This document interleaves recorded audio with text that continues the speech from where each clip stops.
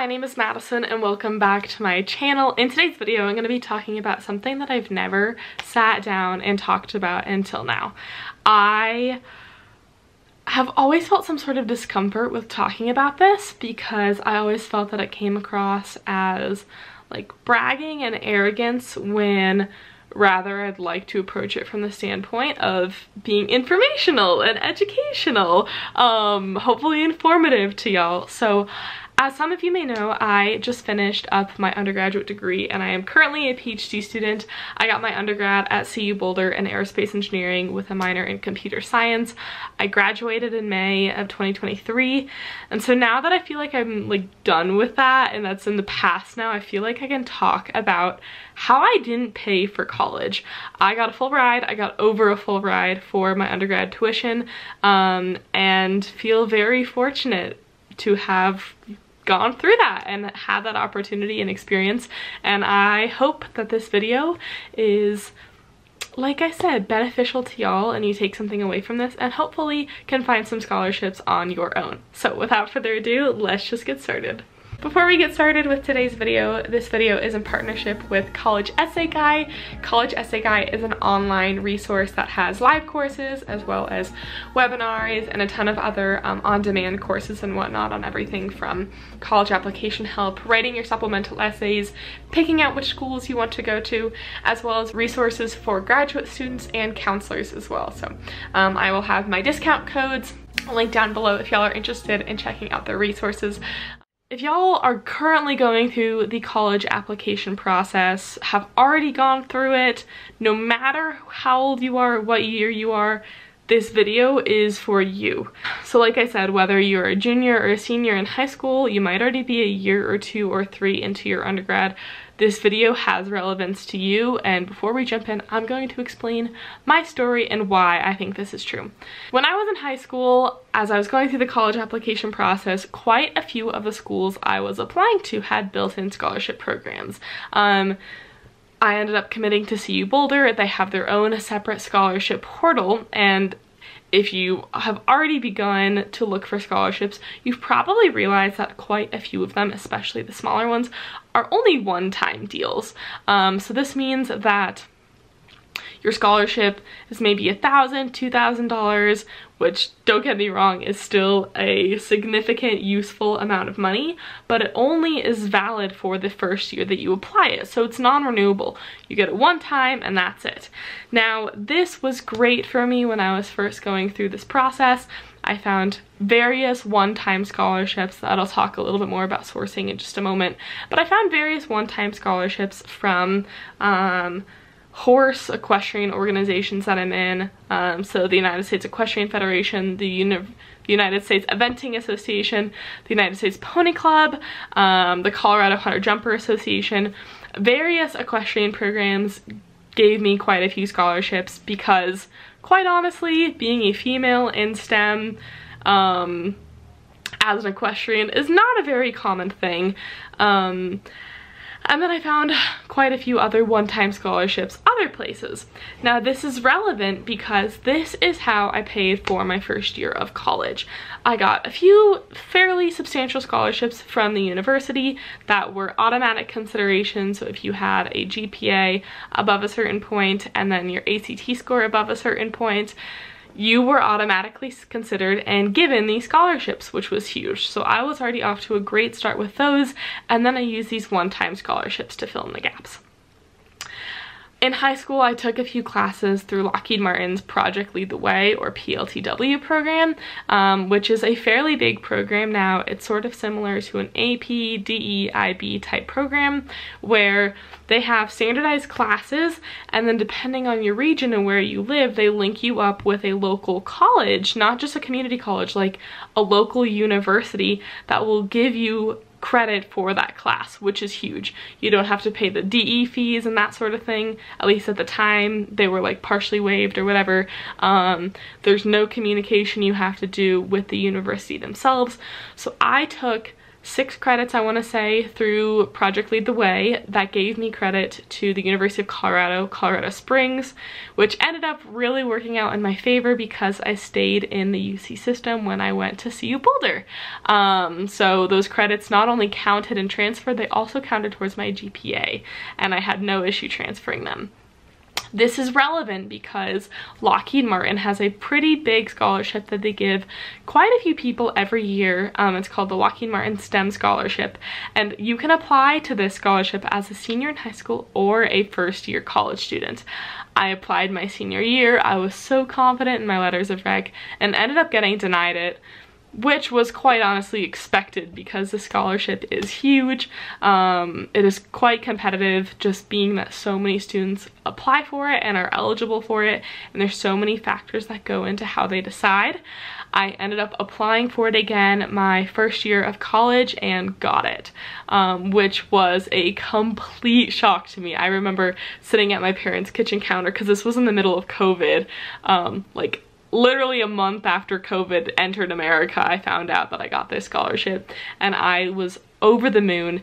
So this scholarship gave me another $10,000 a year. So with that, in combination with some other ones I had received from the university and other organizations, I had well over a full ride. So I got a refund check for a few thousand dollars every semester and was effectively getting paid to go to school.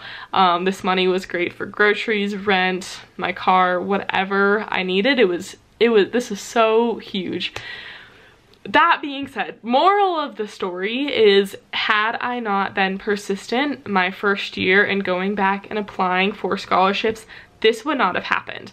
A lot, one of the biggest mistakes I see people make is that they quit applying for scholarships after their senior year of high school, once they've already gotten into school do not stop there. Please do not stop there.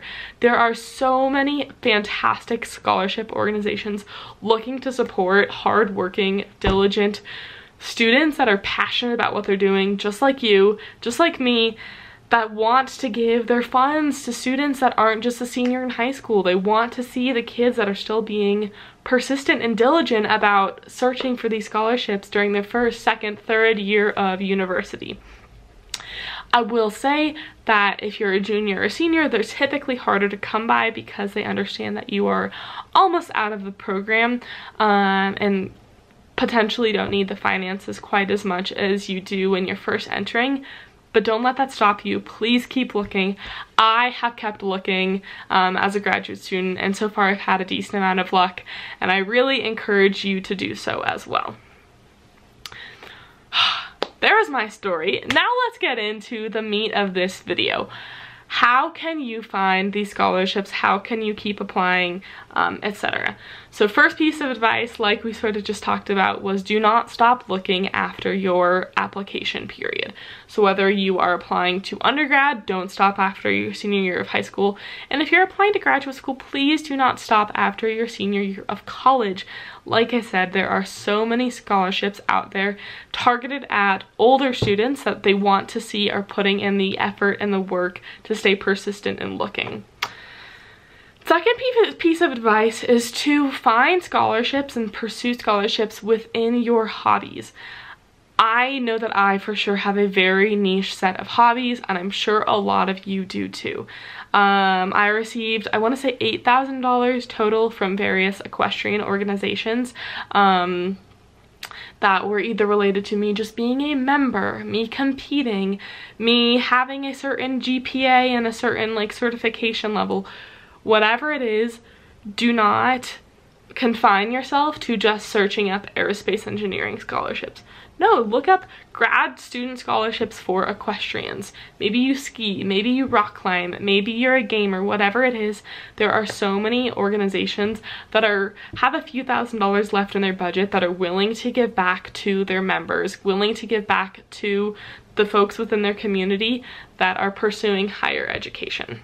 The next big place you can look for substantial scholarships is large corporate companies um, and especially if you are applying as a PhD student for fellowships there are so many well-funded companies Fortune 500 companies that have a hunk of money that they're willing to give back Um, Amazon has multiple scholarships and fellowships.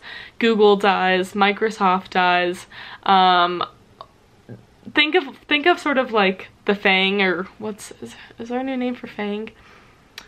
I don't know, but think of those type of companies. They have so much money that they're willing to give back. Coca-Cola, for example, Taco Bell. Coca-Cola every year gives, I want to say 200 students 20 grand a year, renewable up to four years for their higher education. Like I said, the worst thing you can do for yourself is to confine yourself to your specific degree. Of course it is helpful to Google aerospace engineering scholarships, but quite frankly, at the end of the day, I would be terrified to be compared to the other aerospace engineering scholarship seeking students. I, I don't want to be applying to the same exact scholarship that some genius from MIT that's doing who knows what on rockets and stuff is applying for.